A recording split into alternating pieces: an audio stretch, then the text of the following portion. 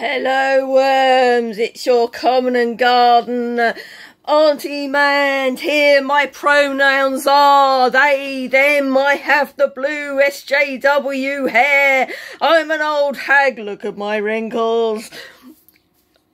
Thank you, Groypers, for commenting on all my videos. You guys rock. I look forward to seeing what you've got to say again in the future. And I fancy girls and boys and all genders. And I've got a tattoo. And I'm fat. And oh, blimey, what else can you get triggered by? Put your put your answers in the comments below. I'm so interested in what you think. I really am. I I, I totally am. I mean. I'm an academic. I've got a master's degree.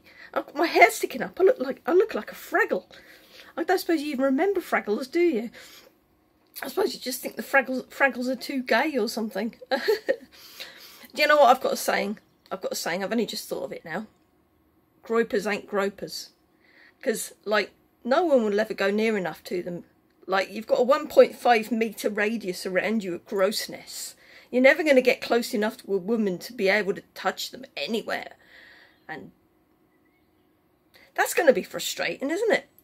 All that pent up testosterone. And then you guys have things like no fat times and everything. God's sake, go out there and whap your winkle. Please. Do us all a favour. we need it. Go and go and spill your seeds somewhere. Don't just just take a load off. Relax, guys. Life's too short. Be like your uh, dinkies. Way too short. Anyway, that's me being repulsive and disgusting enough. Bye for now.